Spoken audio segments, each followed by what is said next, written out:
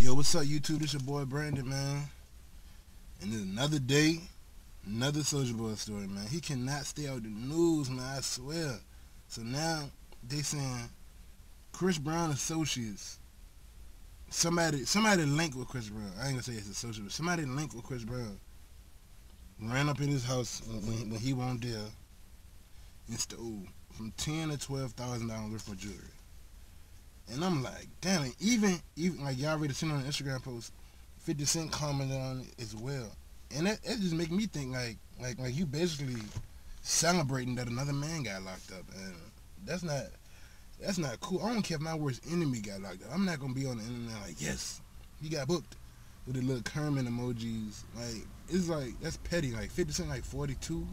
That's petty as fuck for him, but that's 50 Cent for you, man. But yeah, they saying Chris Brown associates ran up in the house, took ten to twelve dollars for jewelry, while, Soulja Boy won't even dare.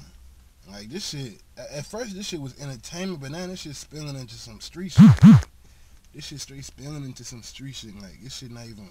This shit not even funny no more, man. Cause this shit, even though Soulja Boy rich as fuck, who the fuck wanna get robbed? You know what I'm saying? So I don't know, man. This shit, but man, man, but Soulja Boy had it coming though.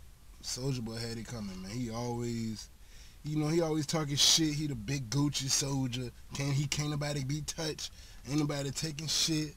He shooting shit, face shotting shit, knocking shit out. Like so, he he had it coming. He just need to keep his shit a little tight. You feel me? He need to keep his shit a little bit more discreet. But yeah, man, Chris Boy, Chris Brown Associates ran up in his house, took his shit. We gonna see how Soulja Boy react to this, man.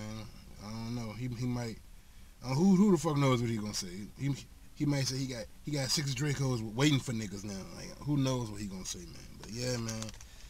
Soulja Boy got his shit took, man. 50 Cent joking about it was never cool at all anyway, but man, y'all let me know what y'all think about this. Is, is this going too far? What y'all think gonna happen next, man? Y'all let me know in the comment section. Man.